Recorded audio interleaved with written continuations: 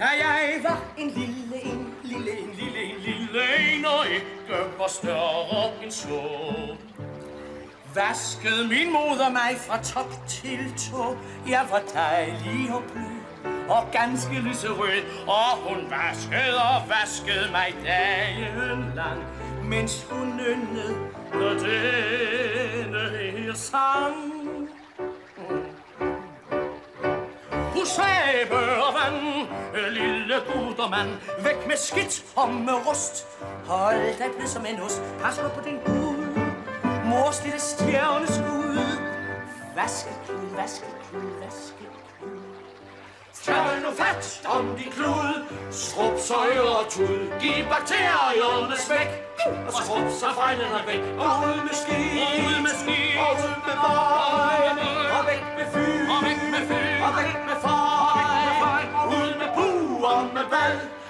vas, der regner med hvad, hey!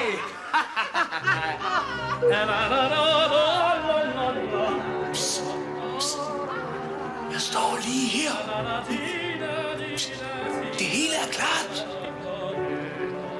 Er besynderligt. Det ser ud som om Sigurd blevet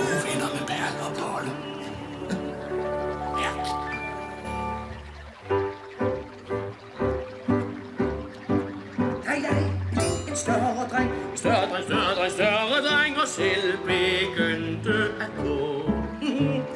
Grisede jeg han mig fra top til to.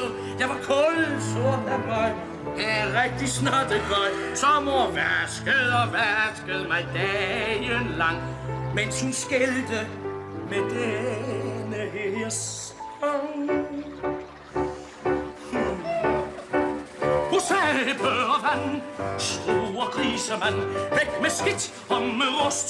Hold dig bøs som en ost, pas godt på din hud. Mor store skumpelskud. Vaskeklud, vaskeklud, vaskeklud. Tag nu fat om din klud, skrub så øre og tud. Giv bakterierne smæk, og skrub så fejlene væk. Og ud med skidt